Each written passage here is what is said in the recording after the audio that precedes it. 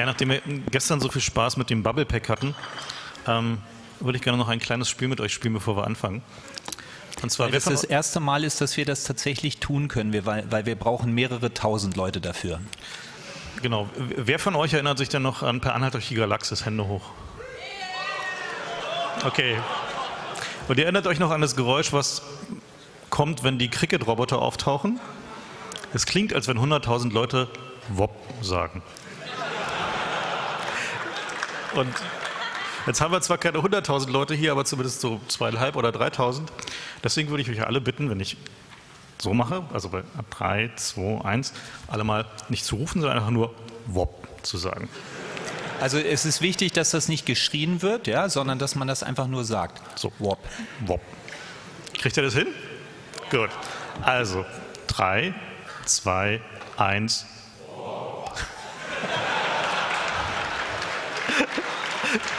Jetzt nochmal jetzt noch mal mit dem Stampf, Stampf, Stampf davor. Genau. Wir machen das Stampf, Stampf, Stampf. Wir machen nur dreimal Stampf, im Buch steht es viermal. Stampf, Stampf, Stampf. Sehr gut.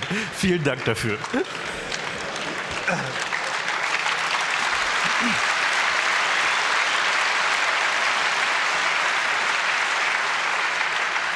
So, das, das war der Publikumstest, ihr habt bestanden. Ähm, das ist die 13. Veranstaltung. Das ist das erste Mal, dass sie in Hamburg stattfindet, weil wir in Berlin angefangen haben. Ähm, wir haben uns ein bisschen geärgert, dass wenn nächstes Jahr der, der 30C3 ist, dass wir dann nicht die 15 haben. Aber ich finde das ganz angemessen, weil wenn man weiterrechnet, dann kommt man darauf, dass wenn wir den 32C3 haben, wir die 16 haben.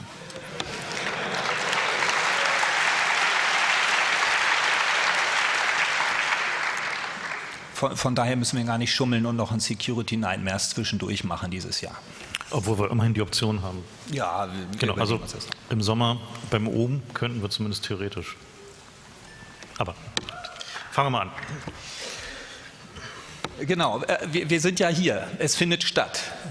Nicht? Also nichts 22. Dezember oder so.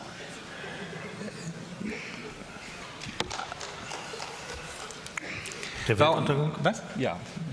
Der, der, habt, ihr, habt ihr das Bild gesehen, das im Internet rumlief mit dem Biene-Maya-Kalender? Nur echt mit den 21 Türchen? Also wer von euch war denn enttäuscht, dass die Apokalypse ausgeblieben ist?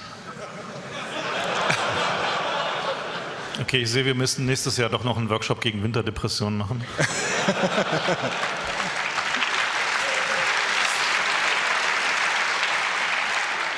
Wo, wobei wir ja dann einen schlechten Job haben hier. Also, weil, wenn man sich das Jahr Revue passieren lässt in der Vorbereitung dieses Workshops, ja, und, und was weiß ich, alle heise Security Headlines des Jahres durchgeht und dann denkt, oh Gott, das ist wirklich passiert?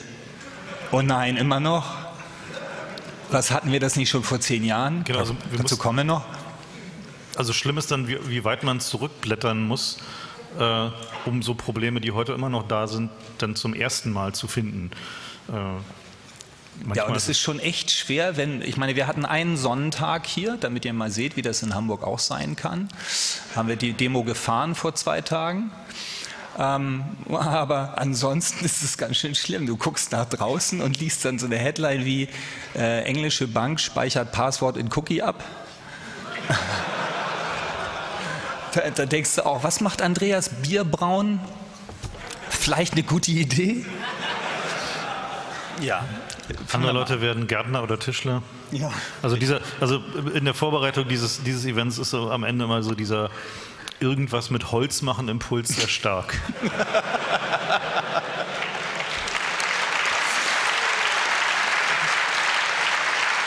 Na gut. Also ihr wisst alle, warum wir hier sind, wegen, wegen dem Karma. Ja. Ähm, Schauen wir mal. Wir fangen wie immer an mit der Rückschau 2002 äh, und dem Normalitätsupdate, was das Internet angeht. Ähm, auf dem 19C3 haben wir über Wireless gesprochen, mobile Mobiltelefonie und so. äh, Bluetooth, Wireless LAN, GSM und, und das für schöne Spielplätze, äh, zu schönen Spielplätzen erklärt. Da ist auch viel passiert. Interessanterweise doch immer nicht so viel, wie wir eigentlich erwartet hätten. Beziehungsweise auch nicht so schnell. GSM hat dann zum Beispiel ein bisschen länger gedauert als erwartet. Richtig. Aber dann doch auch immer wieder und dann immer wieder verschiedene. Ja, und, und man hat auch dieses Jahr gab es noch eine Schlagzeile, dass äh, mal wieder jemand irgendwie in seinem Telekom-Provider-Netz über GSM äh, auf der Datenschnittstelle irgendwie einfach mal gescannt hat und da immer noch Telekom-Provider-Equipment gefunden hat. Und natürlich das Übliche mit Windows NT und so. Ähm, wir haben damals aber auch erklärt, dass die Telefonstabilität der Betriebssysteme noch nicht ausreichend ist für ordentliche Malware. Das, das hat, sich, zum, sich geändert. Zum Glück geändert, ja. Genau. Wir hatten auch nicht vorher gesagt 090er Dialer. Ähm, was ist denn da das Äquivalent heute? Schalten Sie das WLAN aus, um äh, diesen Anruf zu machen, damit wir Sie freischalten können für unsere tolle Website? Mm, ja, oder so Mediahändler auf Mobiltelefonen, die dann äh, über UAI äh, 190er Nummern anrufen, nur Premium-SMS schicken. Premium-SMS, genau. genau. Ja. Also man kann ja so bei so einem Android-Phone heutzutage auf eine URL klicken und dann schickt es ein Premium-SMS. Ähm, das äh, finde ich einen hinreichend guten Technologiefortschritt. So, also auch, auch, im Bereich Mobile Payment, ne, sollte man nicht vergessen. Genau. Ähm, wir haben damals gesagt, und das ist zehn Jahre her, dass die Smartphone-Provider, also Hersteller, nicht in der Lage äh, sind, schnell genug zu patchen. Das waren noch Zeiten, wo man mit seinem Nokia-Telefon zum Nokia ähm, nicht zu irgendwem, sondern nur zu bestimmten Leuten äh, äh, gehen konnte und die haben dann da ein Kabel reingesteckt und das Telefon für einen geupdatet. Und wir hatten damals irgendwie eine Minute Applaus für äh, Simons Mobile Schweiz, wo der User das selber machen durfte. Mit einem speziellen Kabel und einer Windows-Software. Also wir erinnern uns, Nokia ist ja da auch immer noch auf dem, diesem Stand geblieben, eine ganze Weile. Ja. So, so, jetzt gucken wir uns um, zehn Jahre später, und wie viele Hersteller sind in der Lage, das Mobiltelefon, also ein Smartphone, zu patchen, womöglich noch over the air, womöglich noch ohne den Carrier zu fragen? Wir sind nicht beeindruckt.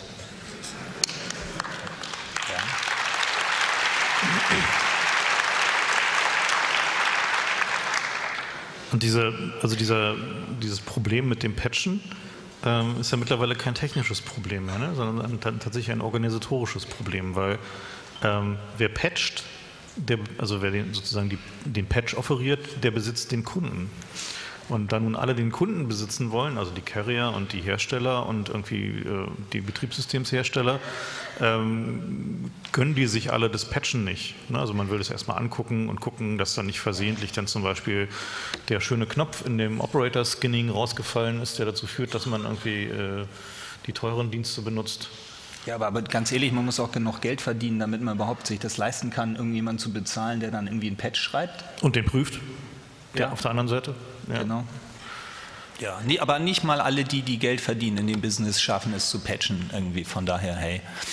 Auch irre. Äh, vor, vor zehn Jahren haben wir das erste Mal über Netzwerk, äh, also Drucker mit Netzwerkanschluss gesprochen und ähm, dass man die ja vielleicht auch mal patchen sollte. Ja, ich glaube, letztes Jahr auf dem Kongress war einer, der äh, erzählt hat, wie man äh, den Druckern PDF, PDFs schicken kann und dann rechnen die irgendwas Lustiges aus, bevor sie es ausdrucken. Der wollte, glaube ich, noch einen Netzwerkscanner in, in PDF-Skript äh, implementieren, das dann der Drucker ausführt. Gibt es da eigentlich Updates? Hat dazu jemand was gehört? Also, also Drucker. Ja, Drucker im Trojaner, na klar. Ich meine, ich gehe mal heute in eine größere Firma, stelle dich vor einen Drucker und frage, wer patcht denn den? Ja, oder da ist doch eine Platte drin, die alles irgendwie, wo alle Kopien drauf landen. Löscht die jemand, bevor das Ding hier rausgerollt wird? Also Drucker kaufen auf Ebay macht immer noch Spaß. Ne? Also wenn man die weiß, welches, um welches Modell es sich handelt, kann man, kann man immer noch eine Menge mitmachen. Ja. Da sind wir enttäuscht, oder? Computergesteuerte Maut, Verkehrsmautsysteme, da hatten wir eigentlich gedacht, da passiert mehr. Ja, also zumal ja doch irgendwie ein gewisser Druck da so ist, dachten wir so ein bisschen ökonomischer Druck. So, da könnte man was, sie hätten so überlegt, ob man so mit GPS-Spoofing arbeitet oder äh, dergleichen Dingen mehr. Aber irgendwie passiert da nicht so viel. Und äh, es gibt da interessante Theorien darüber. Und eine der Theorien ist unter anderem, ähm, diese Verkehrsmautsysteme, die stehen eigentlich nur als Deko. Also die sind manchmal ein bisschen an. Also schon alles echte Hardware, ne? Weil nicht, äh die Wirtschaftsförderung muss ja passiert sein, ne? ist ja klar. Also irgendjemand muss diese Hardware gekauft und bezahlt haben. Aber die sind halt eben nur manchmal ein bisschen an, ist so eine dieser Theorien, äh, damit so gelegentlich mal jemand kontrolliert wird und einen Strafzettel bekommt. Und ansonsten wird die Hardware geschont.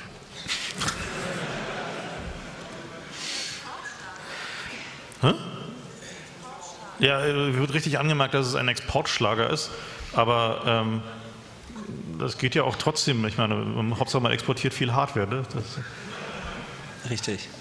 Ja, und Spielekonsolen versus Internet, das äh, ist ziemlich gut hingehauen, oder? Hat nicht mal zehn Jahre gedauert. Ja. Oder erinnert sich noch jemand an Sony?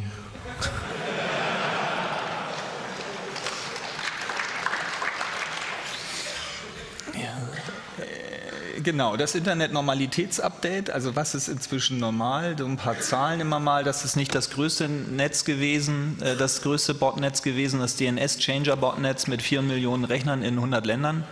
Aber ich fand, das hat echt ähm, viele Beiträge gekriegt, so im Sinne von, und jetzt bald werden die, werden die, äh, die die Kontrollrechner, die sie da dann übernommen hatten, jetzt werden sie abgeschaltet und dann wird es immer noch tausende Rechner geben in Deutschland, die dann kein Internet mehr haben und so. Also kein DNS mehr haben, Kein sie? DNS mehr Aber haben. damit haben sie auch kein Internet, ja. ja. So, und äh, das habe ich irgendwann schon gedacht, irgendwie, jetzt schaltet das Ding doch ab. Damit dieses Gewimmer in der Presse aufhört. Ne? Das so.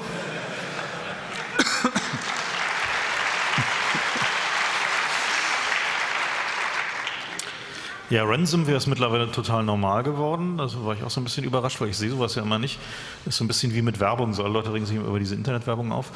Und, äh, aber wenn man sich so umhört, so im Bekanntenkreis von Leuten, die noch so ihre äh, in Würde gealterten Windows XP-Systeme benutzen, bei denen ist äh, tatsächlich da so, so Ransomware, also die dann den Computer blockiert, ähm, indem du zum Beispiel alle 100 Millisekunden die Explorer-Exe abschießt äh, relativ normal. So, das kommt immer mal wieder vor und da gibt es dann auch so Remover-Programme und so und äh, Leute, die so in so PC-Shops arbeiten, entfernen sowas wohl auch eher routinemäßig.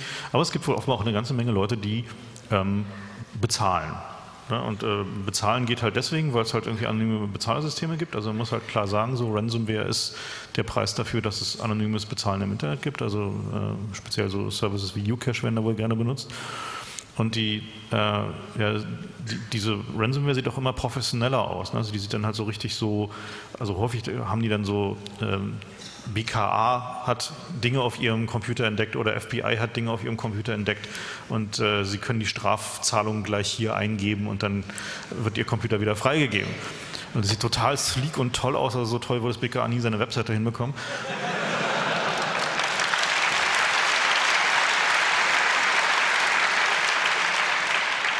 Also offensichtlich, äh, ja, diese, diese, Art von Normalität äh, geht irgendwie immer so ein bisschen an uns vorbei. Oder wer hatte von euch schon mal Ransomware? Nein, nein, so darfst du nicht fragen. Wer von euch kennt zufällig jemanden, der mal Ransomware hatte? Aha!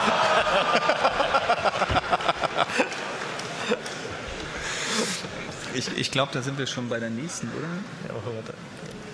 Ja, nur um so ein bisschen Statistiken durch die Gegend zu werfen, 90 Prozent der Internet-User kennen wohl Viren und Spam, 55 kennen Phishing. Da müsst ihr also noch ein bisschen Aufklärungsarbeit betreiben. Bitte? Also, wobei man ja sagen muss, irgendwie so, also so Mastercard und Visa tun ja da viel dafür, ne, dass Phishing bekannter wird. Also ihr kennt ja dieses Verified by Visa-Ding, ne? Das sieht ja genau aus wie so ein, so ein Standard-Phishing-Eingabe, äh, so eine Standard-Phishing-Eingabemaske. Genau wenn ihr mal was sucht, was ihr als Demo benutzen könnt. Guck genau, mal, so, so, sieht, das aus. aus. Wie, genau. Ähm, so genau. Wer von euch hat denn mehr als zehn Viren so beim weihnachtlichen Familiensupport entfernt? ihr, ihr wisst schon, Weihnachten ist, wenn man nach Hause fährt und PCs fixt. Genau.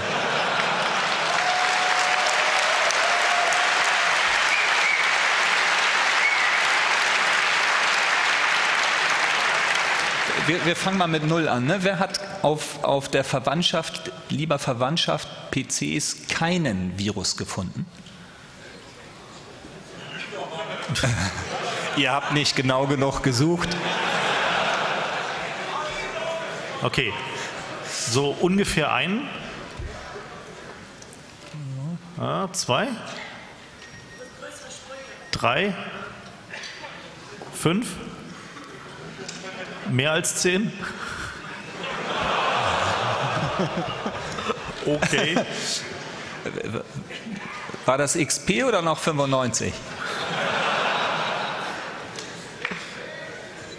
XP höre ich, okay. Wow. Gut. Also Moment, halt. Ähm, und wer von euch hat danach die Verwandtschaft auf Linux umgestellt? Immerhin, immerhin. Oh.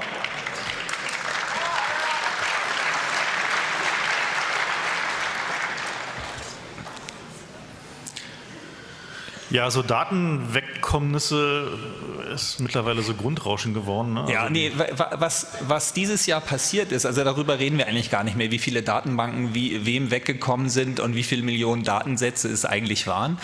Ähm, weswegen ich das hier draufgenommen habe, ist, äh, weil ich da in dem Kontext gelesen habe, dass sich jetzt jemand hingestellt hat, ich glaube es war ähm, Verizon in den USA, und die haben ein Format vorgeschlagen, wie man das jetzt meldet. Ja, also so meine Datenbank waren, da waren so und so viele Leute drin und das waren alles Privatkunden oder nicht und äh, die kommen da und daher und es gibt jetzt ein standardisiertes Format für, den, für das Melden von Datenverlust. So. Und ich meine, auf der Basis kann man doch jetzt gut weitermachen mit den Statistiken, oder?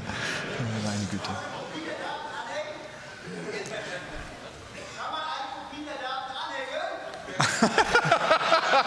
Ob man eine Kopie der Daten anhängen kann. Ja, ich habe hier diese. Was? Fahndungsfoto. Fahndungsfoto?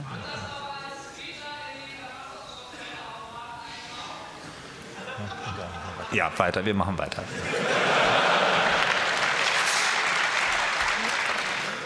Ja, also der Durchschnittspreis für einen, einen ordentlichen iOS-Exploit äh, ist eine Viertelmillion Dollar, nur so als Realitätsabgleich.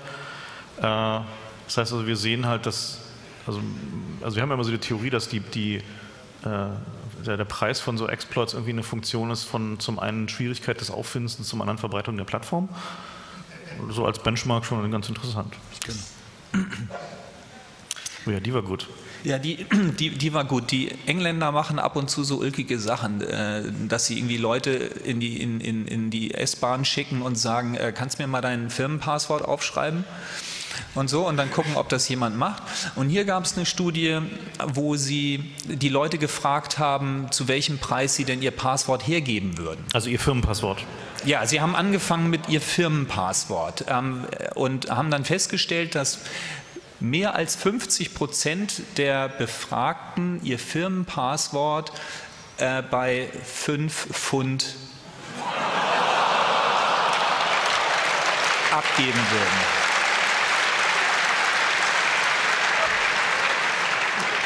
Ist ja mal eine Zahl, fair enough, 5 Pfund für ein Firmenpasswort.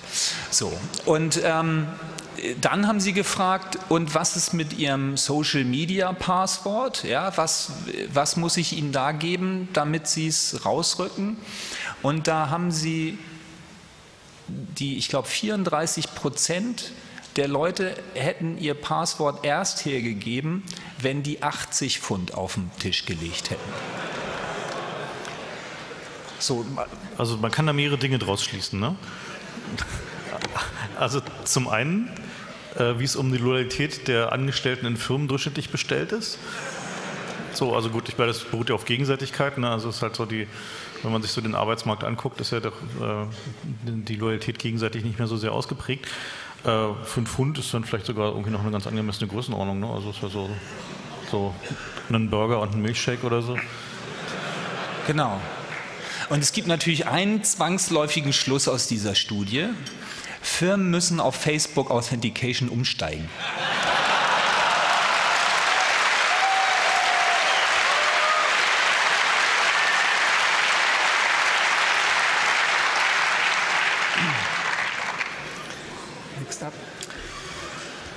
Ja, dann haben wir uns noch so ein bisschen angeguckt, wie dann so der State of the Art von Trojanern dieses Jahr so ist.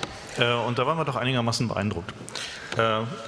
Zum ersten äh, drängen einem ja immer mehr Banken diese Mobile-TANs auf. Ne? Also dass halt irgendwie man ähm, eine, eine TAN nicht mehr auf einem ausgedruckten Zettel hat, die man nach und nach abarbeitet, sondern äh, man fordert die TAN an, indem man im Browser irgendwas klickt und eine Transaktion haben will und dann kommt so eine SMS mit äh, der TAN und dann gibt man die wiederum da ein. Also genauer gesagt ist die Theorie, wenn man berechtigt ist, dieses Mobiltelefon in der Hand zu halten, was mit dem Account assoziiert ist, dann kann man auch diese Transaktionen durchführen. Und sind natürlich die, die Fischers-Leute nicht so ganz äh, untätig und haben sich Folgendes ausgedacht. Sie hijacken zuerst den Browser, zeigen im Browser an, ja, für Ihr Mobile TAN-Dings müssten Sie Ihr Telefon mal irgendwie mit einem Security-Update versehen. Äh, Sie, wählen Sie doch mal aus dieser Liste von hübsch gemachten Telefonen, so, also sind dann so viele kleine Telefone. Wählen Sie doch mal aus, was Sie für ein Telefon haben, klicken Sie da drauf und geben Sie aus Sicherheitsgründen Ihre Telefonnummer an. So, dann äh, bekommt man auf dieses Telefon dann entsprechend auf den Typ des Telefons zugeschnitten einen Exploit geschickt, also in der Regel halt irgendwie einen Link in einer SMS oder einer MMS oder was immer gerade auf dem Telefon geht, ähm, mit dem deutlichen Hinweis nochmal im Browser und auch nochmal in der SMS, so ja, hier kommt jetzt gleich das Update und dann müssen Sie dreimal Ja sagen, auch wenn da komische Dinge von Security stehen, ist richtig so. Äh, und dann installiert sich auf dem Telefon halt ein, äh, ja, ein kleiner Trojaner, der dann anfängt, die Mobile TAN SMS einfach abzufangen und den Fischersleut zuzuteilen. Äh, wann immer dann eine Transaktion, also wann immer eine Transaktion versucht, wird dann irgendein technischer Effekt vorgegaukelt und äh, die oder die SMS kommt halt nie an oder ist halt kaputt oder irgendwas. Und äh, in der Zeit können die dann halt das Konto leer räumen. Den fand ich schon einigermaßen beeindruckend. Ähm, was ich aber wirklich beeindruckend fand, war ein Trojaner, der per Browser-Hijacking einem vorgaukelt, man hätte eine Überweisung bekommen. Und ein, zwar richtig gut, die tauchte mal. Ja, nicht Peanuts, also schon so ein paar hundert Euro. So genau, so ein paar hundert Euro, die plötzlich auftauchen in der Liste der, äh, der eingehenden Transaktionen.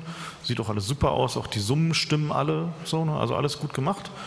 Und dann kommt da so ein Pop-up und sagt, ja hier, Sie haben ja versehentlich irrtümlich eine Überweisung bekommen, überweisen Sie doch mal zurück.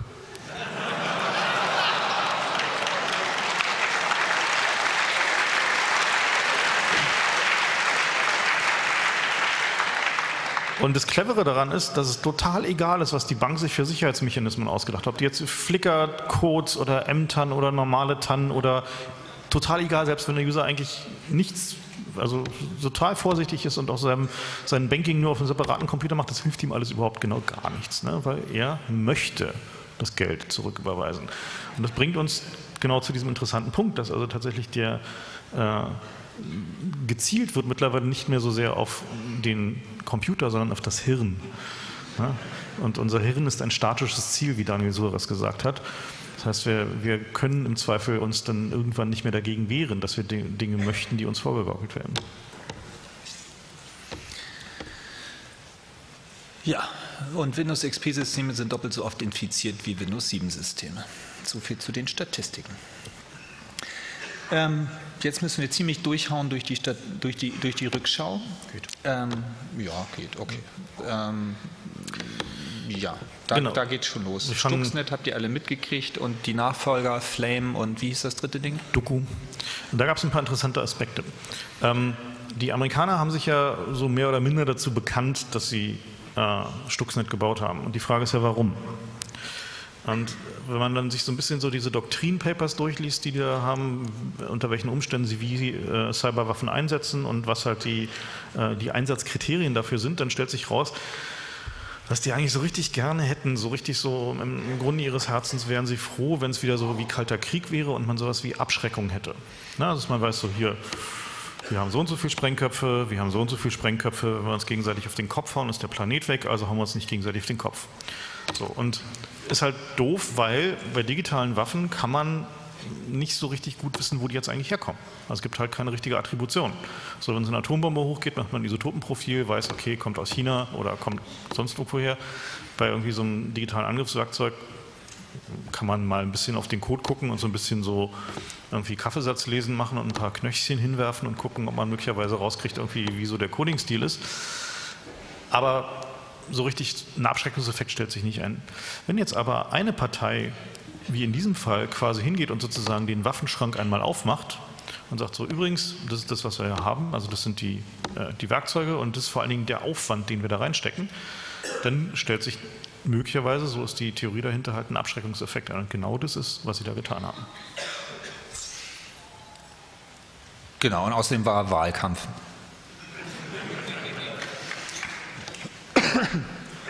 Was spannend war, war, dass es äh, ein Urteil gab in den USA, dass äh, ein Passwort tatsächlich Zeugenaussage sein kann. Man sich äh, mit Zeugenaussagen nicht selber belasten muss und deswegen Passwörter nicht rausrücken muss. Allerdings in einem relativ komplexen Kontext. Trotzdem fanden wir das bemerkenswert. Geht in die richtige Richtung.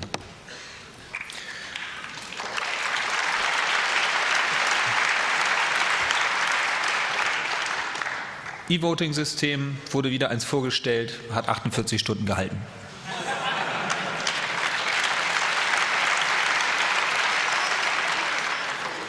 Und die österreichische Bürgerkarte hat auch nochmal einen weggekriegt. Ähm, Datenverbrechen. Also eigentlich äh, dachten wir, dass wir hier vielleicht mal nicht mehr Einzelfälle, sondern ein bisschen generisch werden, bevor wir es dann vielleicht wieder abschaffen müssen. Keine Ahnung, das wissen wir noch nicht genau mit dieser Kategorie. Aber klar war, dass diese Adressbuch-Downloader-Geschichten eine Problematik sind, ähm, weil das ja so das übliche Problem ist, aber auch in der digitalen Gesellschaft wenn Daten wegkommen von mir, dann eben nicht notwendigerweise bei mir, sondern bei anderen, die Daten von mir haben. Ja, und wer von euch hat zu Hause die Tür zugeknallt mit, ich habe alles, was ich von dir weiß, in mein Telefon gespeichert und jetzt gehe ich auf den Kongress und mache das WLAN an?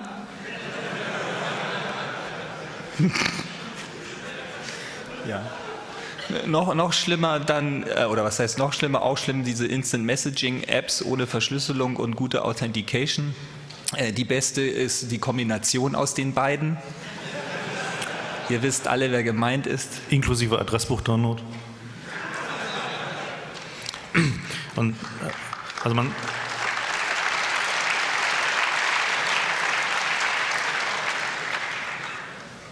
Ja, aber am Ende des Tages muss man inzwischen fast damit rechnen, dass Daten wegkommen, inklusive Passwörter womöglich noch und so weiter. Und von daher ähm, kann man jetzt mal pauschal erklären, alle, die erwischt werden beim Wegkommen von Daten, okay, shit happens.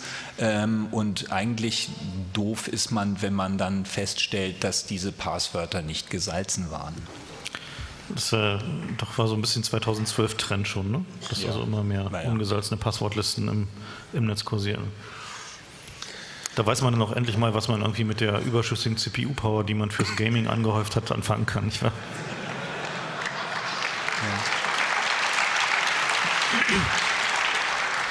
Ich hörte ja davon, dass demnächst also durch den Generationswechsel beim Bitcoin-Rechnen auch ordentlich Rechenkapazität frei wird kann man auch für sowas benutzen. Ja, dann, was war lustig? Ähm, offene Videokonferenzsysteme. Nee, nee, nicht offen wie in Open Source, sondern offen wie in Scheunentor.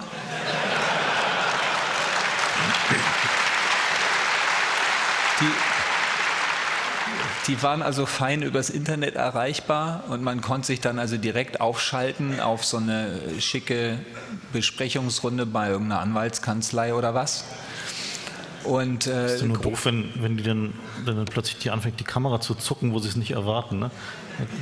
Ja, ja, ja, genau, genau. Also dem, man, ne, mit, mit Kamera, Bewegung und Fernsteuerung und Zoom-Funktion. Ähm, da stand in dem Bericht drin, dass die Zoom-Funktion teilweise so gut war, dass man in sechs Metern Entfernung noch das Passwort lesen konnte, das auf irgendeinem Zettel stand.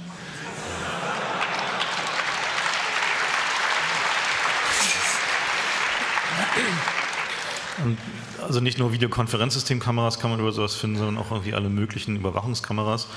Äh, es ist ja schon seit mehreren Jahren Sport zu gucken, äh, wie viel von diesen Kameras man so finden kann. Wenn man dann so die, die typischen Management-Webseiten-Strings mal in Google eingibt, dann findet man in der Regel so ein paar tausend davon. Und äh, da gibt es auch schon so die ersten Kunstprojekte. Das war da neulich eins, die hatten so einen ganzen Raum mit Beamern äh, vollgepflastert und haben da auf jedem davon so zwölf oder 14 äh, Kameras irgendwo auf der Welt dahin gestreamt, die sie irgendwie zufällig per Google gefunden haben. Es war schon sehr beeindruckend, wenn man so plötzlich der, der Welt zugucken konnte. So, ne? das, äh ja, kleine Läden, Rezeptionen von Hotels und so Zeugs, völlig unklar. Puffs auch.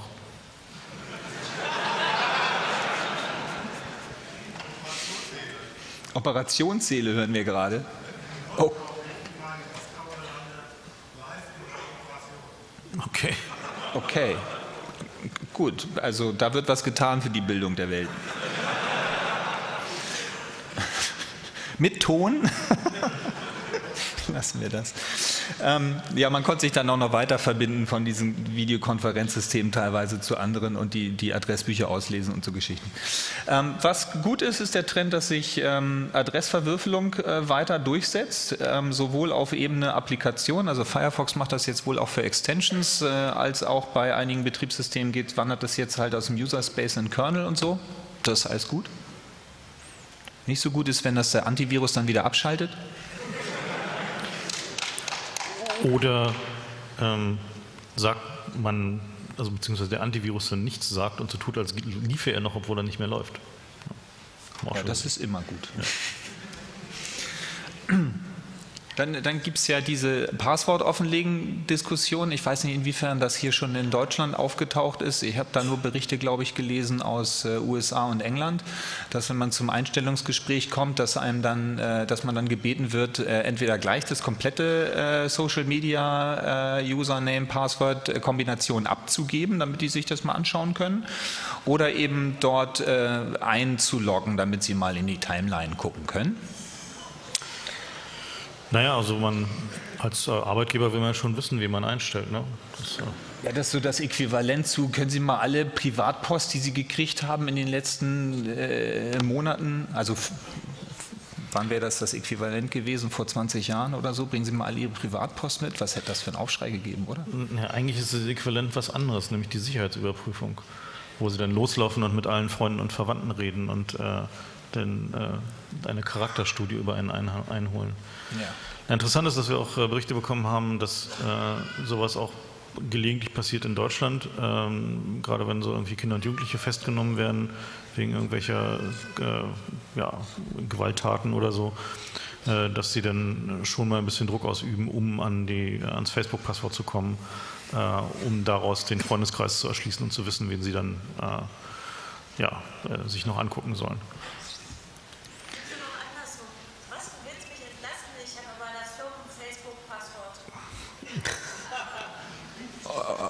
Okay, also andersrum, was, du willst mich entlassen, aber ich habe doch das Facebook-Passwort? Ja, für den Firmenaccount, klar. Mhm. Mhm.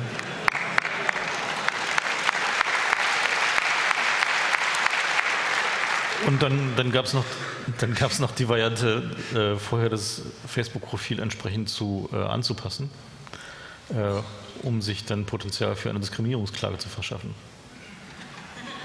Ja, das, das soll wohl der, das ist dann der, der, das ist dann wohl der Trick, der in den USA kursiert, ähm, äh, dass man dann ähm, äh, auf dem Facebook-Profil so, so Sachen ähm, äh, postet wie, ja, ich habe gestern mit meinen Eltern gesprochen, ihnen erklärt, dass ich schwul bin.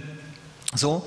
Und das postet man dann auf Facebook, auf seiner privaten Timeline, ähm, sorgt dann dafür, dass der potenzielle Arbeitgeber das sieht sagt, ähm, ich druck das jetzt aus, was Sie gesehen haben, gehe damit zu meinem Anwalt, weil wenn, wenn ich den Job nicht kriege, dann kriege ich den ja offensichtlich wegen Diskriminierung nicht.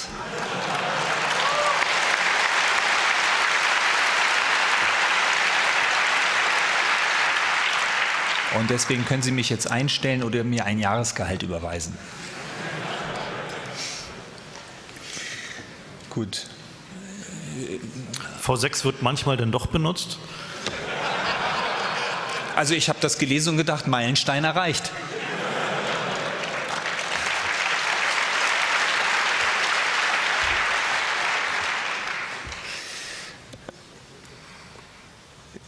Ja, ähm, Phishing nimmt natürlich irgendwie neue Wege, so, ähm, äh, nachdem wir jetzt irgendwie mit äh, den klassischen Methoden so ein bisschen durch sind, äh, werden jetzt halt neue benutzt, auf denen immer noch die alten Mediahändler funktionieren. Also zum Beispiel äh, bei Nearfield Communication auf Telefonen kann man auch ganz prima noch äh, URLs reindroppen, die ähm, dann ausgeführt werden, selbes äh, für äh, QR-Codes, also QR-Codes auf pa Plakaten zu manipulieren.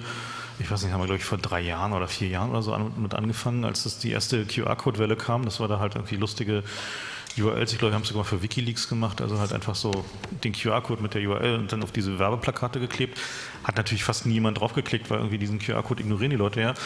Aber dieses Jahr hat es dann, äh, ich glaube, Symantec gemerkt, dass da draußen QR-Code-Phishing unterwegs ist, wogegen man ja unbedingt ein Sicherheitsprodukt braucht, was die über QR-Code eingescannten URLs erstmal auf Sicherheit überprüft.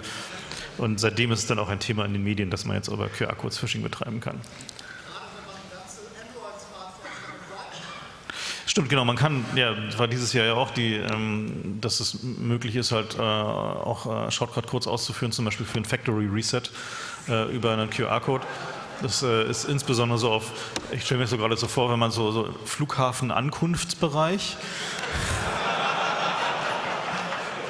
wo die Leute dann gerade so ihre Telefone auspacken, um zu gucken, wo sie so hin müssen und dann so, ach, ja, dann wo sie so hin müssen, wo ich müsste jetzt mal mein Ticket, mein elektronisches Bzzzt Ups.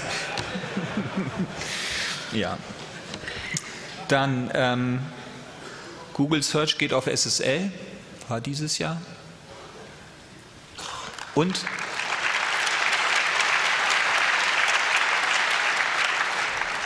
und Apple geht zur Black Hat. Ah, sie sind dann dahin gegangen, haben das Paper vorgelesen, äh, das sie irgendwie einen Monat vorher veröffentlicht hatten über, über die iOS Security Architektur. Übrigens empfehlenswerte Lektüre, ist auch nicht zu lang. Ja, haben das Paper vorgelesen und haben gesagt, wir nehmen keine Fragen entgegen. Tschüss. Aber, aber jeder fängt mal klein an oder so, ne? Ja, ich weiß nicht. Wahrscheinlich hat sich es gestört, dass Papier keine runden Ecken hatte oder sowas.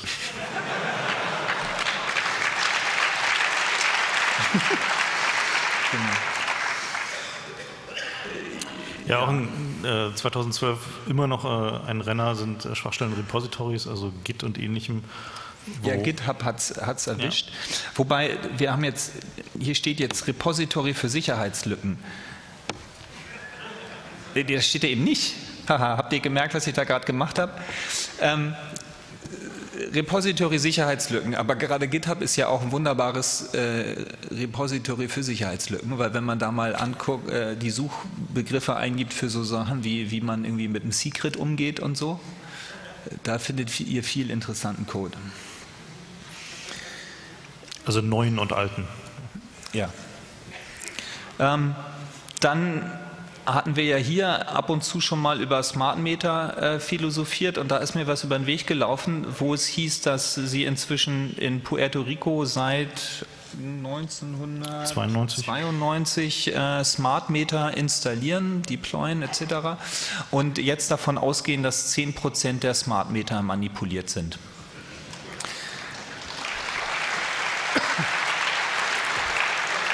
Ich meine, wir fordern ja schon seit mehr als zehn Jahren endlich Blinkenlights für Stadtteile hier auf dieser Veranstaltung.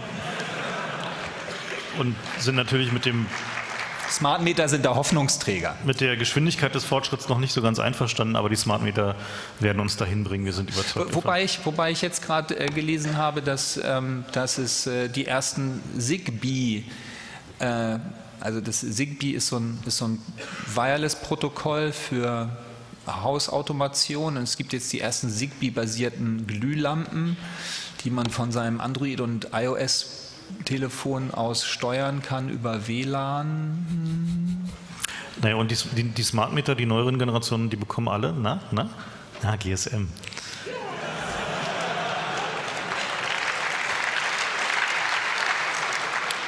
Und zwar vorzugsweise, weil so ein Smart Meter darf natürlich nicht viel kosten mit den ganz, ganz billigen Baseband-Chips.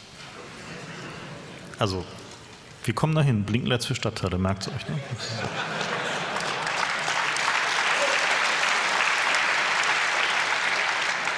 In dem Kontext hatten wir mal darüber gesprochen, dass man ja vielleicht Blinkenlights auch auf eine andere Art und Weise mit einem großen IR-Scheinwerfer, äh, dass man an, da, an das man eine, eine, wie hieß das Ding, anschließt? TV Begun. TV Begun. Und es dann auf, auf so ein Hochhaus hält. Ähm, so, so, ein paar Sachen vergessen wir ja immer. Also zum Beispiel haben wir Fernseher, Firmware-Hacking haben wir nicht vorhergesagt, was wahrscheinlich daran liegt, dass wir beide Fernseher haben, die noch aus einer Baureihe sind, bevor wir geboren wurden oder so. Na, meiner nicht ganz, aber. Ja, wie auch immer. Ja. Und aber wenn man sich das mal überlegt, äh, wir haben zwischendurch mal die, die Plaste-Router äh, Übernahmewelle angesagt und so weiter. Was ist denn eigentlich das, was so in, in, in den Haushalten als, als Gerät äh, eben dann doch häufiger ausgewechselt wird? Ja? Das ist tatsächlich ein Plasterrouter im großen Display. Man nennt ihn heutzutage Fernseher. genau, also die Fernseher, ähm, das wird noch spannend vielleicht. Besonders sollte man, also wenn man da mitspielt, immer darauf achten, dass gerade ein möglichst populäres Sportereignis parallel läuft.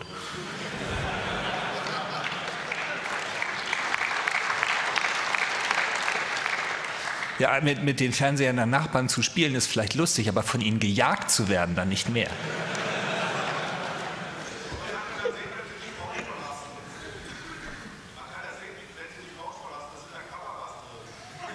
Man oh ja, kann sehen, wie sie die Couch verlassen, weil da Kameras drin sind. Genau.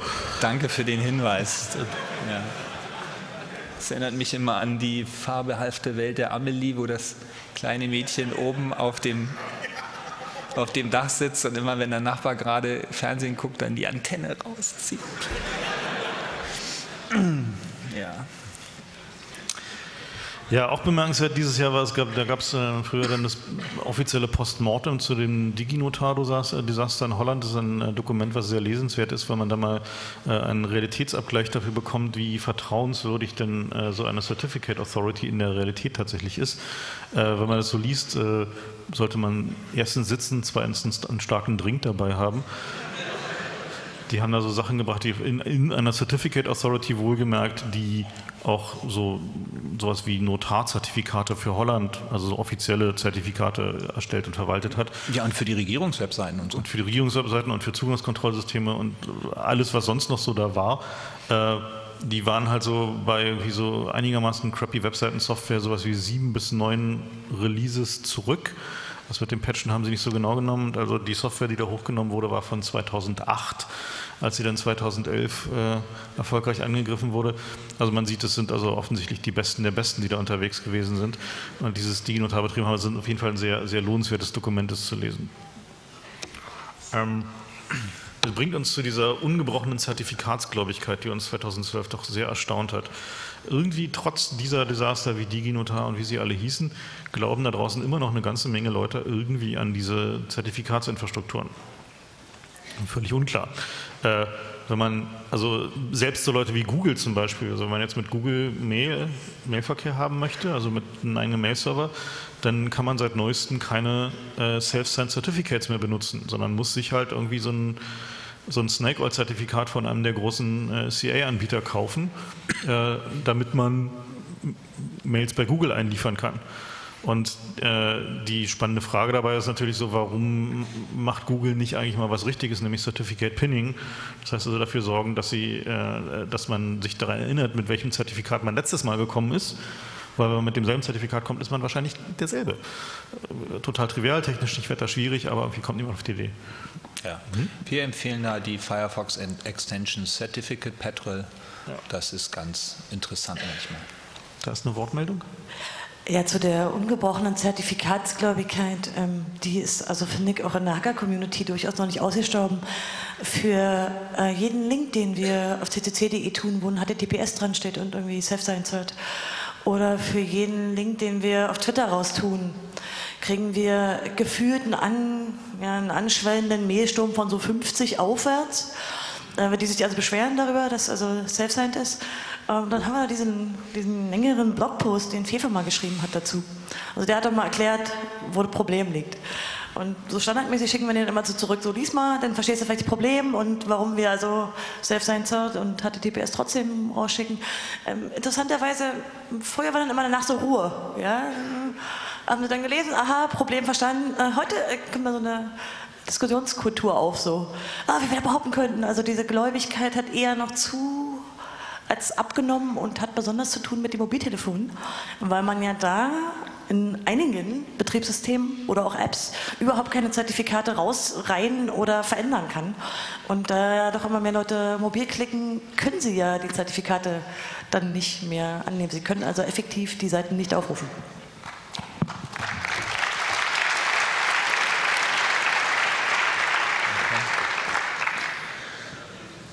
Ja, damit sind wir dann von der Rückschau in die Vorschau. Wir haben da ja immer so unterschiedliche Kategorien. Fangen an mit neue Geschäftsfelder. Unser Service hier für alle die, die noch einen Job brauchen. Oder ein Startup gründen wollen. Genau. Wir stellen hier aber auch erstmal eine Frage. Wird Facebook wohl in die Passwortprüfung einsteigen? Nein, nehmen Sie für die Bank nicht dieses Passwort, das benutzen Sie schon bei der anderen Bank.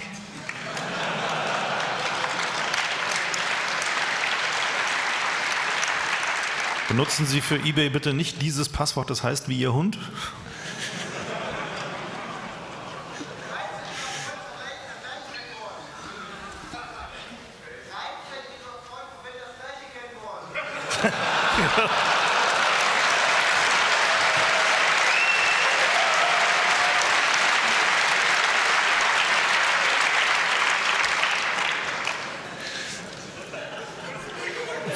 Freunde, die dieses Passwort, ja, also äh, drei Viertel ihrer Freunde verwenden das gleiche Passwort, war die, die Ansage. Da könnte man natürlich erweitern, so Freunde, die dieses Passwort verwendeten.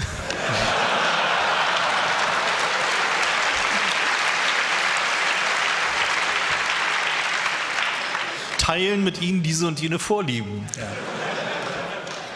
Der, der, Teilnehmer, zu dem Sie gerade ähm, äh, äh, ihren Beziehungsstatus zu fest verbunden geändert haben, benutzt nicht ihren Namen als Passwort.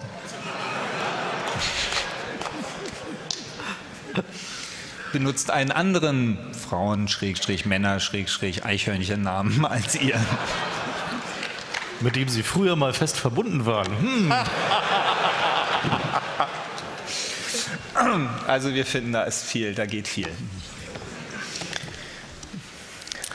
Ja, also so, so als Dienstleistung so ein, ein Kürzungsservice für die Root-CA-Listen, die man so mit sich rumträgt. Also es ist immer wieder sehr unterhaltsam, mal zu gucken, was denn alles so an Certificate Authorities so in Telefonen und in, in normalen Betriebssystemen und Browsern eingebaut ist, denen man so implizit vertraut qua Installation dieses Systems.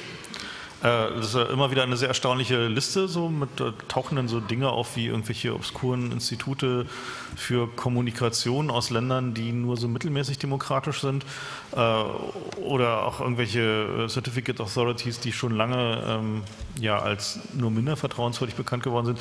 Und das so mal auf das Wesentliche zusammenzudampfen, denke ich mal, ist ein, auf jeden Fall ein neues Geschäftsfeld.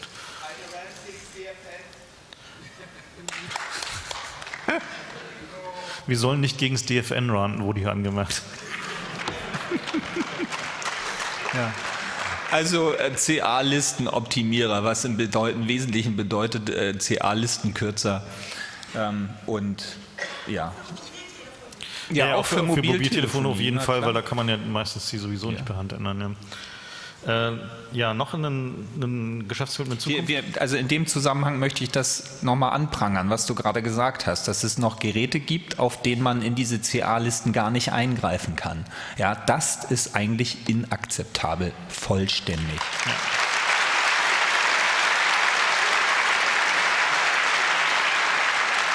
Ja, also man, man, will Zertifikate hinzufügen, damit man sich seine Man-in-the-Middle-Attacke selber bauen kann. Ne? Und äh, eben auch umgekehrt. Ja, ähm, ein Trend in der Authentication, nachdem wir nun festgestellt haben, mit den Passworten ist alles doof, Zertifikate sind auch scheiße. Ähm, irgendwie muss man sich authentifizieren. Was da gerade passiert ist, dass ähm, Also Firmen wie so große Zahlungsanbieter zum Beispiel, die benutzen alles, was sie kriegen können an Daten, um eine Authentifizierung zu machen. Also einfach zu sagen, so hier ähm, Tipprate, von welcher IP-Adresse kommt man, welcher Browser ist es, welche Betriebssystemsversion, was kann man sonst noch so sehen, was ist irgendwie in, aus der Browser-Historie zu ersehen, wenn man an die rankommt und so weiter. Ähm, um äh, so komische Sprünge festzustellen. Das ist so ähnlich wie die Technik, die früher bei den Kreditkartenanbietern also als sie neu war, äh, so ein bisschen für Aufsehen gesorgt hat, nämlich dass die einfach sich die Zahlungshistorie angucken und wenn man sonst normalerweise mit seiner Kreditkarte nur tanken fährt und irgendwie gelegentlich mal irgendwie, keine Ahnung, einen kleinen Einkauf bezahlt und plötzlich kauft man irgendwie fünf Plasmafernseher in Hongkong damit, dann ist möglicherweise was äh, nicht so, wie es sein sollte. Und so ähnliche Dinge versuchen die jetzt auch äh, im Internet und das als quasi daraus, also ja, äh, irgendwie Identifikationen zu generieren.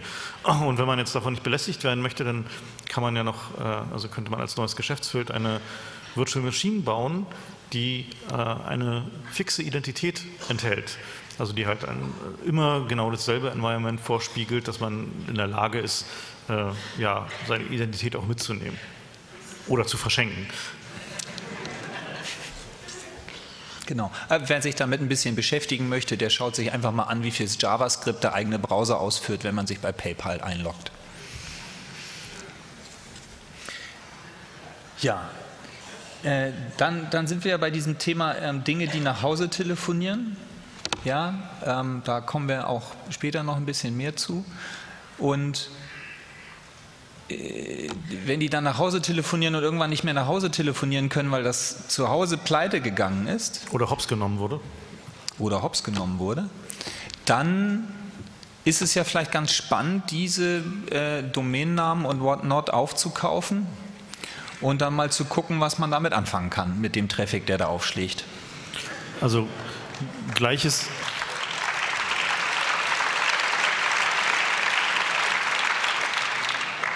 Ich meine, wir haben mittlerweile so langsam die Situation, dass ähm, wo IP4, V4-Adressen langsam knapp werden, tritt genau dieselbe Situation auf wie bei Telefonnummern.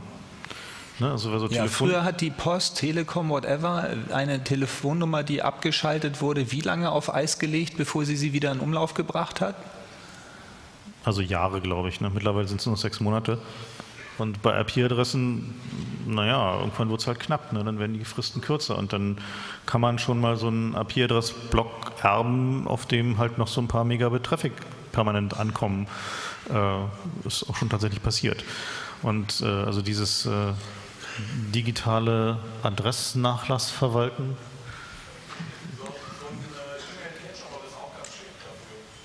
Ein E-Mail-Catch-all? Ja, stimmt, ja, ja, E-Mail-Catch-all für sowas. Mhm. Wenn du dir dann für so einen Domainnamen auch noch das E-Mail-Catch-all. Ach so, ja, ja, so, Wildcard, wir nehmen alle sie alle. eingehende E-Mail, ja, ja. Sowieso immer alle E-Mail annehmen, ne? Ist also. Das ist extrem unterhaltsam, also was da alles so kommt. Also die Leute vertippen sich, also besonders unterhaltsam bei sowas sind natürlich Vertipper, die dann permanent werden weil sich der E-Mail-Client ja natürlich die Adressen merkt, an die er schon mal erfolgreich zugestellt hat. Und dann äh, landet man auf den, den absurdesten Mailinglisten. Also das, äh ja. Äh, was wir denken, was wahrscheinlich noch nicht kommen wird, das sind äh, verhaltensbasierte Scam-Matching-Trojaner. Also wir, wenn wir uns so angucken, wohin die Reise geht, so bei den Mobiltelefonen, das äh, wird so, also so die wichtigsten Beispiele sind so Google Now und Siri. Ähm, das Ziel davon ist ja äh, so digitale Lebensberatung. Ne? Also wenn man sich so Google Now anguckt zum Beispiel, die wollen dann, wenn die sehen, man hat einen Flug gebucht, dann sagen sie einem schon, okay, das Wetter am äh, Zielort wird leider ein bisschen schlecht, pack mal irgendwie eine Regenjacke ein, fahr ein bisschen früher los, dein Flug geht irgendwie pünktlich und äh, aber da ist Stau auf dem Weg, so halt. Ne? Ja, also Siri musst du noch fragen, ne? Und dann heißt es nimm Regenschirm mit und Google Now sagt dir das gleich vorher. So, und die und diese, diese Art von, von Dienstleistung wird immer wichtiger für die Mobiltelefone. Und das ist natürlich die interessante Frage, wie sieht denn so Malware dafür aus? Ne? Also was macht denn dann Malware, wenn sie mit Siri spielen geht oder mit Google Now. So, und äh, heute ist es ja so, also wenn, wenn, man so einen, so einen Browser-Hijacking-Trojaner hat, der tut einem ja da andere Werbung rein, äh, meistens halt dann für irgendwelche anderen Scams, das wird ja weiter vermietet. Und dann ist die interessante Frage, was passiert denn dann, wenn man also so einen Location-Service auf so einem Mobiltelefon hijackt und äh, oder Siri mit einem Inputfilter versieht, der dafür sorgt, dass äh, bestimmte Fragen etwas anders formuliert werden. Man sieht ja das Ergebnis dann nur so halb passend und so. Aber wir denken, 2013 ist vielleicht noch ein bisschen früh dafür, weil der, die Basis-Services noch nicht so weit ausgerollt sein werden. Äh, aber da kann man auf jeden Fall noch eine Menge Spaß mit haben. Genau.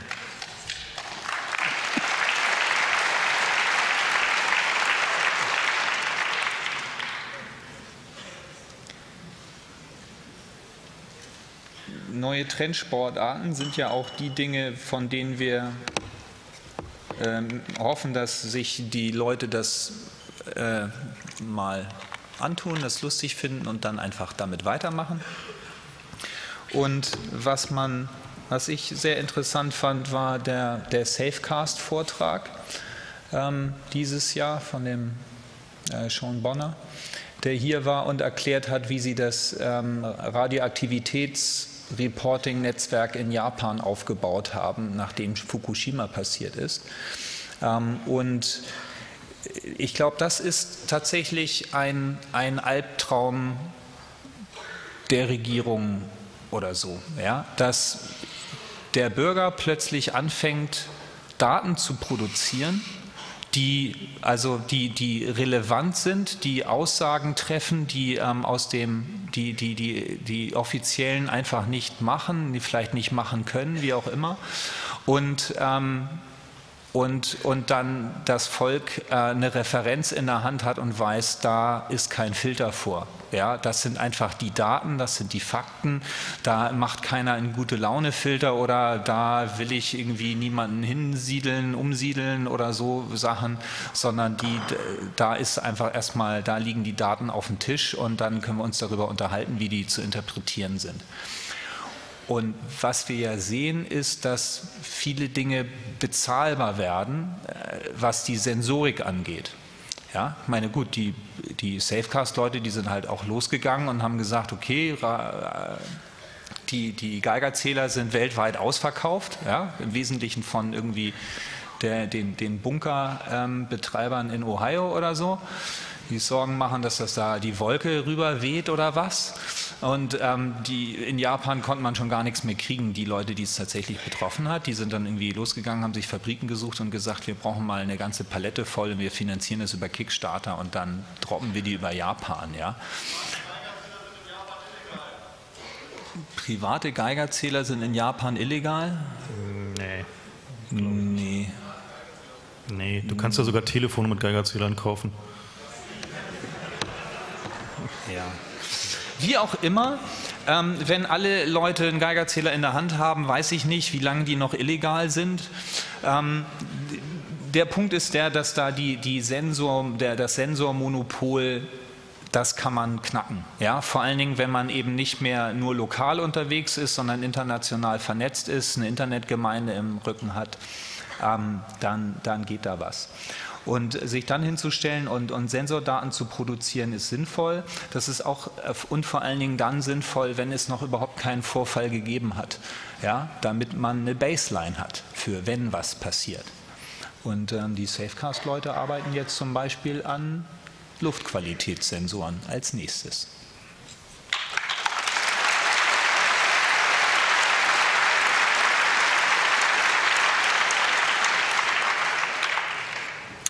Ja, analog zu den Krypto-Partys empfehlen wir ähm, RUCE-Listen Aufräumpartys.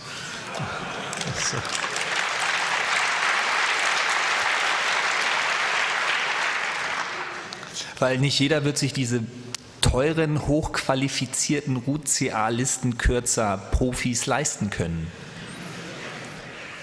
Da kann man ja eigentlich keine Stundensätze unter was? 250 aufrufen? Na, mindestens. Na, mindestens, oder? Naja. Ja, ja. Das ist doch Vertrauensarbeit.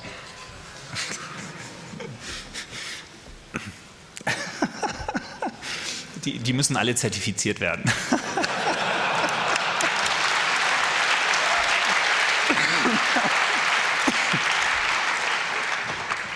ja, mit Zertifikaten. lassen wir das. Äh, was haben wir noch? Böse Netze 2.0.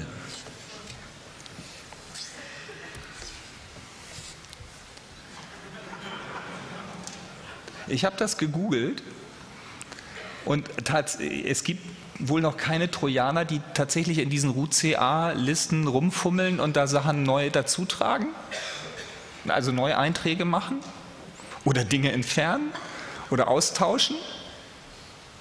Jetzt bin ich aber enttäuscht. Also ich meine, wir haben schon so, wir, wir sagen ja immer gerne, also wir haben schon seit mehreren Jahren dann immer den so Monsterwürmer vorhergesagt. Dieses Jahr gab es ein paar sehr, sehr beeindruckende äh, Vorlagen, so, so ein paar aus dem staatlichen Bereich, aber ein paar auch äh, aus dem äh, privaten Bereich, äh, die, also was sich zum Beispiel in sowas wie Tor Hidden Services irgendwie als Command- und Kontrollnetzwerk benutzen, äh, hinreichende Eigenintelligenz haben, Multiplattformverteilung machen können. Also, da gibt es schon so einiges, was so passiert, aber lustigerweise so die äh, CAs umpatchen, also die CA-Listen umpatchen, haben wir bisher noch nicht so gefunden. So, ne? Also nur so als Forschungsinspiration. Ja, Medizingerätevernetzung äh, ist so ein Thema, was äh, wir davon ausgehen, dass es 2013 doch äh, erhebliche Wichtigkeit gewinnen wird. Äh, wenn man sich so auf Ebay mal im Bereich medizinische Geräte umguckt, da sieht man so einiges, was jetzt so aus den Krankenhäusern rausfliegt. Äh, ja, Kameras gibt es schon in OP-Sälen, genau. Äh, aber also was da so rausfliegt, so ein Patientenmonitorsystem, auch Röntgengeräte, äh, auch irgendwie Medi also Medikamentenpumpen und so ein Zeug. Das handelt sich dabei alles um Gerätschaften, die also nicht direkt mit Sicherheit so als erste Priorität gebaut wurden. Äh, also so ein Klassiker ist zum Beispiel so eine Krankenhausdatenbank, die äh, so langsam ist und so ja, häufig kaputt ist, dass die Stationsschwestern anfangen, sich für jeden Patienten einen äh, Notepad-File anzulegen auf dem Stationscomputer, wo sie halt alle wesentlichen Sachen, also was er für Medikamente äh, bekommt und wann er zu welchen Untersuchungen muss, äh, da drin zu notieren und die Nachtschwester trägt es dann immer in die Datenbank ein, irgendwann, weil über die wird die Abrechnung gemacht. Und diese Notepad-Files liegen dann auf äh, einem äh, ja, sozusagen World Readable Windows Share, was auch die Patienten, wenn sie die richtige Ethernet-Dose erwischt haben, lesen und modifizieren können. Und wenn man dann so ein bisschen weiter guckt, dann möchte man, wenn man dann so die ersten CRTs und irgendwie äh, ähnlichen Geräte sieht äh, in diesem Netz, dann doch lieber so nicht weiter gucken. Also die äh, ja, Vernetzung von Medizingeräten schreitet jedenfalls voran. Ja, zu ihrem Nachteil im Moment. Mhm. Der nächste Punkt, der dann da äh, passiert, ist ja, also einmal ne, diese, diese, was soll man sagen, ungeschickt oder soll man sagen äh, kriminell oder soll man sagen fahrlässig oder was? Mischung von, von äh, Betriebsgerät, also wie medizinischen Sachen und irgendwie nicht Betriebsgerät und oder irgendwie Netzwerkanschluss im Zimmer, wo auch Betten sind von Leuten, die Laptops mitbringen. Ja. Ähm, ist dann die Problematik, dass sich alle Dinge der Tricks bedienen, die man von Skype kennt und die bei Skype ähm, entwickelt wurden, um aus Netzen rauszukommen, ja, damit man telefonieren kann. Ihr wisst das, irgendwie ist es völlig egal, wo ihr seid, völlig egal. Hinter der großen Firewall von China ist vielleicht noch ein bisschen problematisch, aber alle anderen großen Firewalls von irgendwelchen Ländern oder Firmennetze oder so, du machst Skype an, Skype geht immer. Ja, das heißt, es findet immer einen Weg nach draußen, ähm, findet immer einen Weg irgendwie, um die die, äh, die Datenströme ähm, auszutauschen und so weiter. Und das ist das, was wir meinen, wenn wir sagen, die Skypeifizierung aller Dinge, also auch die Dinge, also so Zeugdinge mit Netzwerkanschluss, ähm, die dann immer davon ausgehen müssen, dass der Kunde einen total kaputten NAT-Router hat, der hinter einem total kaputten NAT-Router hängt, der hinter einem total kaputten NAT hängt von irgendeinem Wireless-Hotspot-Betreiber, der hinter einer kaputten NAT-Firewall hängt. Und das ja, zwischen der NAT-Firewall und der NAT-Firewall passt immer, immer, immer noch eine NAT-Firewall.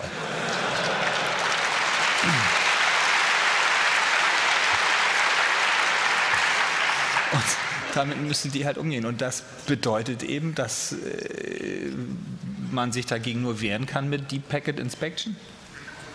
Ja, das ist die logische Folge, ne? Oder was? Ja, wenn irgendwie alles nur noch über HTTPS, HTTPS äh, rumtelefonieren.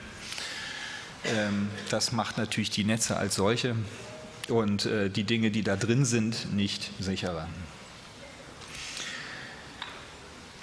Dann fällt auf, dass da ein Konflikt immer schärfer, aus unserer Sicht natürlich interessanter wird, nämlich der Konflikt zwischen Safety, also Sicherheit von Personen und Geräten sozusagen, Zertifikationsvorgaben und das, was echte IT-Security ist.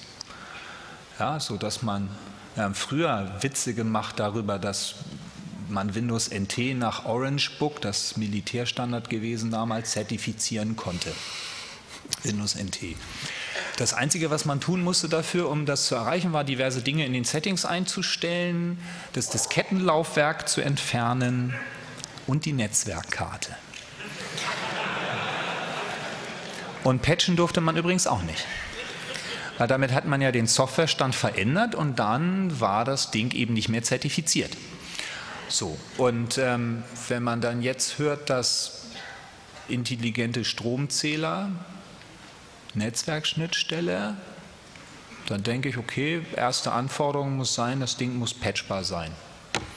So, und dann heißt es, ja, aber das Eichamt Na, ich meine, so ein Stromzähler ist ein abgenommenes Messgerät, weil das, was es da zählt, hat dann halt natürlich eine monetäre Bedeutung und das ist dann halt ist dann halt irgendwie, äh, ach genau, äh, richtige Anmerkung, die Leute beim Eichham sind ja dieselben Leute wie die mit den Wahlcomputern und die sind dann jetzt für Smart Meter zuständig. Das ist äh, eine amüsante Betrachtung so. Ja, also jedenfalls können die halt diese, also gibt es halt an verschiedensten Stellen so Geräte, die man halt nicht, nicht mehr richtig patchen kann, jedenfalls nur mit großem Aufwand. Äh, Patchability hatten wir vorhin schon so. Und äh, der was haben wir da? Alles genau. Mögliche. So, also das tritt halt nicht nur bei, bei so Smart Metern auf, sondern auch zum Beispiel bei Autos, ähm, bei Industrieanlagen, ja, äh, auch bei äh, ja, Krankenhäuser, Medizingeräte, auch genau, richtiger Punkt. Äh, Atomkraftwerke ist auch ein ganz tolles Beispiel für sowas. Ne? So, wenn man da so sieht, was da so für Zeug gefahren wird. Das war, war im Zuge der, der Stuxnet und SCADA-Geschichten kam ja da äh, eine Menge hoch, was da so an fossiler äh, Hard- und Software so immer noch betrieben wird, ähm, weil die nicht gut gepatcht werden kann, weil dann die Zertifizierung flöten geht.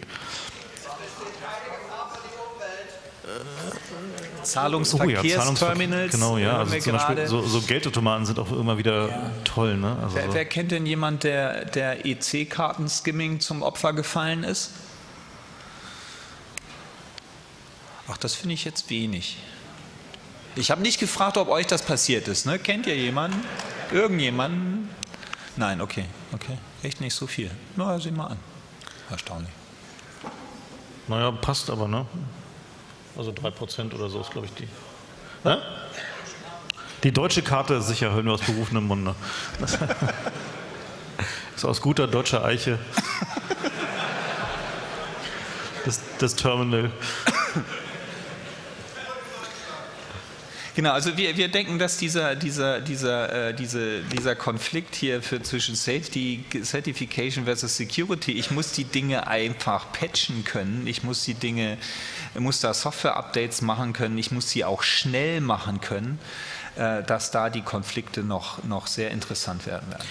Ja, also vor allem, wenn man sich so überlegt, was so alles Industrieanlagen sind. Ne?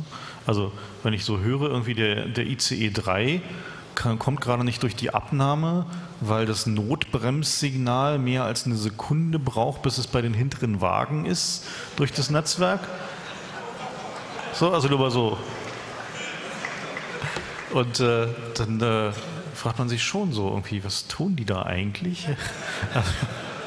Weil so in einer Sekunde sind wir wie viel Mal um den Planeten rum mit dem Ping? Ich dachte, das hätten wir gerade erklärt. Die machen da Deep Packet Inspection.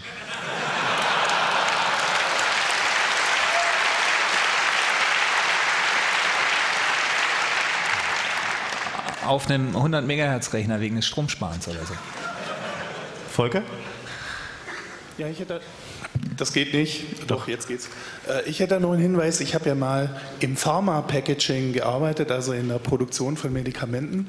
Und da sehe ich zwei sehr interessante Entwicklungen, die eigentlich super zusammengehen würden. Das eine ist das, was ihr hier erwähnt, nämlich, äh, dass die Produktionsmaschinen dort immer mehr vernetzt werden. Und da sie zertifiziert sind, äh, das werden die alle fünf Jahre ähm, vielleicht mal, ähm, wenn man was ändert ähm, sind sie doch recht statisch in ihrem Patch-Level. Und das Zweite, äh, was ich dort gesehen habe, ist, dass dort gerade die Entwicklung stattfindet, dass man individuelle Medikamentenpackungen macht.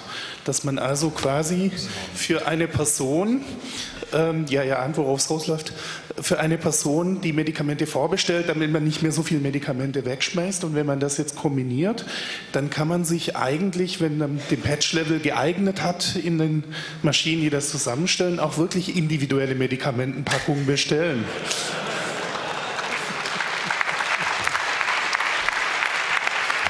Ja, vielen Dank. Also wir sehen, also die vernetzte, individualisierte Medizin hat noch eine große Zukunft. Mhm. Hä? Äh, die Frage ist, ob Drohnen zertifiziert werden.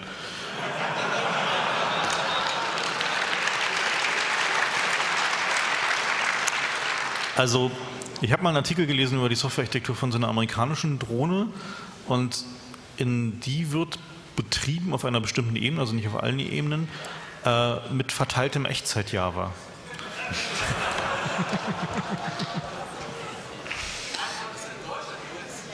Ah, in Deutschland werden Drohnen zertifiziert. Vielen Dank.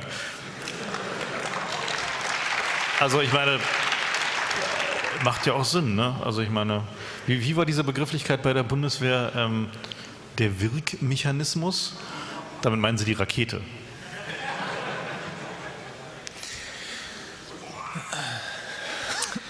Ja, wir, wir haben ja dieses Konzept der Corporate äh, Franchise City States, äh, die sich so langsam herausbilden. Was wir damit meinen, sind halt so Informationsökologien aller Apple und Facebook, äh, aber auch Amazon die, oder Google, die ähm, einem Dinge versprechen. Das ist so ein bisschen wie früher mit den Fürsten im Mittelalter, die einem dann sagen, okay, komm zu mir, hier hast du vielleicht irgendwie nicht so viel Redefreiheit, aber dafür ist irgendwie alles schön sicher und die Ecken sind rund.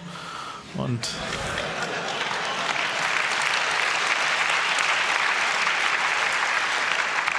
oder mehr so die Google-Fürstentümer, die sagen so, naja gut, Android ist das neue Windows, aber äh, mehr so XP, äh, was die Sicherheit angeht, aber dafür kannst du halt noch selber ein bisschen drin rumpatchen so.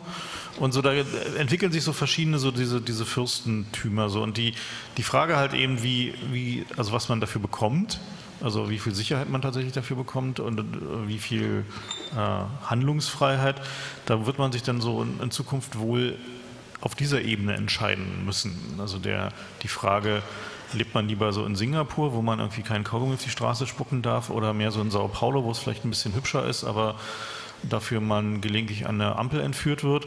ähm, die muss man also für sich beantworten. Ja, und ein, wesentlicher Bestandteil dessen ist halt diese Disneyfizierung, also die, die Frage, wie viel Entscheidungsgewalt bekommen denn diese Konzerne, denen wir unsere Informationen anvertrauen, deren Geräte wir benutzen, weil sie, wir, uns gehören die Geräte ja dann nicht mehr, insbesondere die iDevices, und wie, was kann man denn überhaupt noch darauf sagen? So, ne? Also äh, heute sah ich einen Tweet von jemand, der, einen Tweet von mir gestern, da ging es nämlich um das Synchronpoppen hier im Saal äh, mit, den, mit der Popfolie. Und der hat den Tweet mit dem Synchronpoppen irgendwie nach Facebook gecrosspostet, wo er nach einer Stunde zensiert wurde.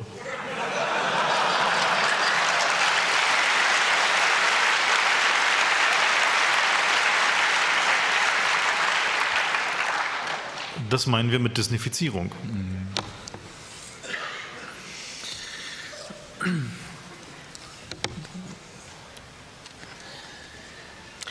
Wir, wir, wir denken, dass man hier äh, aufpassen muss.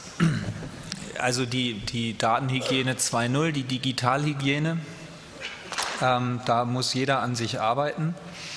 Und ähm, ihr habt schon mal jemanden gesehen, wie er, wie er, wie, wie, wie, wie er sich verhält, Wenn, wenn sein das Telefon Smartphone weg ist, ne? oder gerade ins Klo gefallen ist. Na, also die Verzweiflung ist ja dann doch immer groß. Und früher gab es so bei, zumindest bei einigen deutschen Das Banken, erinnert mich an so eine Story von jemandem, dessen Namen ich nicht nennen will, dem sein Psion im IC durch die Bahntoilette gefallen ist. Und der dann, wo auch immer er war, auf der nächsten Station ausgestiegen ist und dann die Schienen entlang gelaufen ist, um diesen, diesen Chip da aus diesen Dingern zu poolen, wie auch immer. Ja.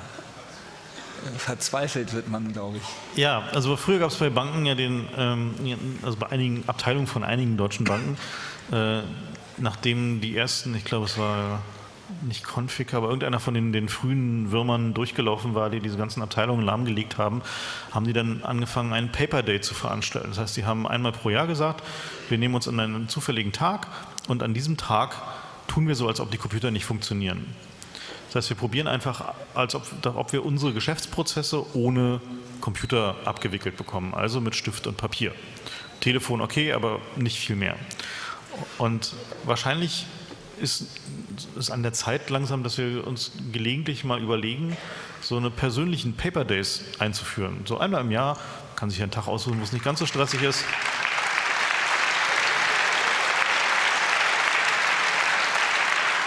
Na, Lois, wer von euch kann sich noch mehr als zwei Telefonnummern merken? Okay, das war zu einfach. Zehn IP-Adressen.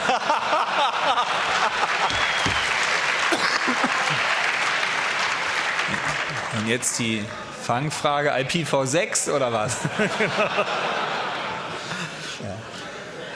Also ja, also wir denken, dass es tatsächlich eine ähm, durchaus empfehlenswert ist, es einfach mal zu probieren. Genau, um der Smart Demenz entgegenzuwirken. Der nicht totalen Hilflosigkeit, wenn das Telefon gerade mal weg ist. Also oder, oder der Akku leer. Also erlaubt ist Telefon ohne Adressbuch, Stadtplan, Zettel, Papier, Stift ähm, und was man sonst noch so an Informationen rumliegen hat. Wieso? Was mit meinen Enkeln? Achso, du meinst mal Fotos auch mal wieder ausdrucken? Also auch gelegentlich das Internet ein wenig ausdrucken hilft tatsächlich auch. Zumindest solange es noch geht. Genau.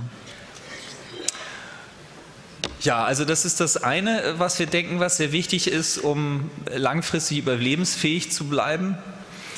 Ähm, die andere Geschichte ist äh, das Thema Lifecycle Management. Äh, da muss sich ein Bewusstsein etablieren. Und äh, wenn man das ein bisschen durchdenkt, dann wird das ganz schön spannend, finde ich. Ähm, also wenn man sagt, man hat diese ganzen Dinge, die sich alle mit dem Internet verbinden zu Hause, ähm, die man möglicherweise sogar benutzt, um irgendwas im Internet aufzurufen und äh, die nach Hause telefonieren, was nicht noch alles machen. Und man, wenn man sich sowas aussucht heutzutage, dann muss man ja einfach mal darauf achten, ob das Ding überhaupt gepatcht wird. Ja, also gibt das, ist der Hersteller dafür bekannt, hat er überhaupt jemals schon in seiner Vergangenheit ein Firmware-Update rausgegeben, sind da Sachen gefixt gewesen, war das hinterher weniger schlimm als vorher und so weiter, reagieren die auf Dinge, die passieren. Ging Ähm, das Gerät noch? Was? Ging das Gerät nach dem Update noch? Genau, ging das Gerät hinterher noch ähm, und solche Geschichten. Und äh, bei einigen Dingen kristallisiert sich ja jetzt heraus, dass also gerade bei Mobiltelefonen ähm, einige tun das einfach nicht. Ja, da ist dann irgendwie, da kommt äh, ist Android 2.3 drauf. Glaube ich immer noch die meist installierteste Installation auf diesem Planeten. Also Android 2.3 is winning. Ja, immer noch. Äh, und die, man kann also gar nicht damit rechnen, dass das geupdatet wird. Schon mal schlecht, fällt aus dem Filter raus, gar nicht erst kaufen. Ähm, braucht also Dinge, die geupdatet werden. Ähm, aber und, und dann muss man eben sich überlegen, okay, das geht jetzt End of Service, das wird also nicht mehr gepatcht, dann muss es weg und durch was anderes ersetzt werden. Das ist also eigentlich schon mal natürlich eine, eine Umweltkatastrophe und vielleicht brauchen wir noch in, in, den, in den neue Geschäftsfelder, dass man dann immer sagen kann, okay, dann machen wir das Ding halt auf, installieren da irgendwie irgendwas anderes, Linux oder so, und das wird dann gepflegt hoffentlich. Ähm, aber äh, worauf wollte ich jetzt hinaus? Man hat diese Dinge, man sucht die aus nach, das wird noch gepatcht. Der Anbieter kann es sich hoffentlich auch leisten zu patchen. Ähm, nach so und so vielen Jahren muss das Zeug raus und bei der Verwandtschaft muss man da vielleicht mal drauf treten, damit sie sich davon trennen. Ups, mir ist das hm, runtergefallen, das tut mir jetzt echt leid. Hier ist ein neues. Ähm, oder wahlweise sich einen großen Hund borgen und den mitnehmen, der gerne auf Geräten rumkaut oder so. Genau, damit da eine gewisse Datenhygiene drauf ist. Vor allen Dingen denkt an eure Eltern, die haben alle eure Fotos. Damals, als ihr noch klein wart. Naja, die digitalisieren die mittlerweile auch, ne? Genau. Und tun die auf Facebook. Wie, wie, auch immer. Also die, die, die, da muss man äh, dran arbeiten. Das ist äh, Lifecycle Management. Äh, in Firmen kennt man das längst, na klar.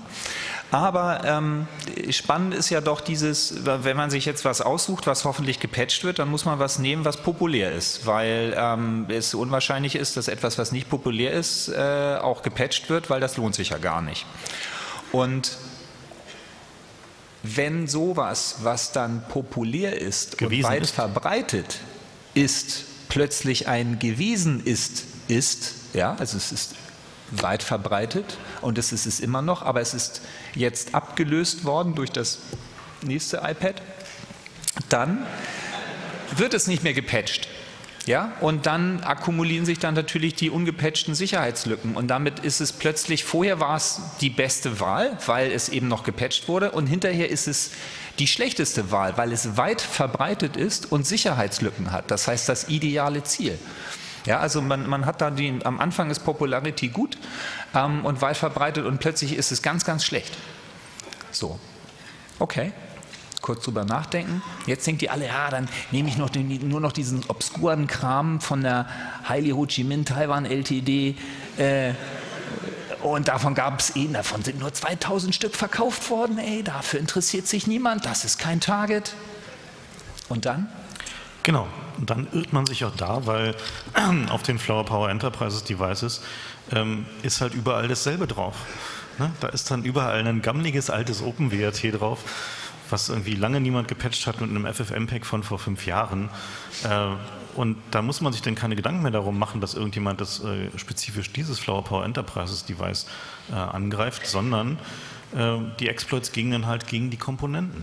Also wir kommen dahin, dass wir Security Management auf dem Level der Softwarekomponenten die überall gleich sind und die überall drinstecken, machen müssen, nicht mehr auf dem äh, von einzelnen Geräten. Wenn wir uns angucken, wieso Sachen äh, herstellen um die Ohren fliegen, also auch irgendwie Netzwerkausrüster oder wie auch immer, ist es in der Regel meistens Zeug, was sie von Third-Party-Anbietern zugekauft haben.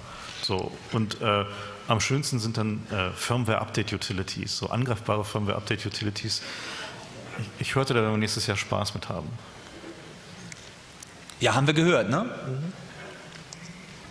Dabei gibt es hier gar keinen Keller. Das war jetzt BCC-Witz. Okay. Ja. Äh, ja. Damit entlassen wir euch. Wünschen euch einen guten Rutsch ins Jahr 1984.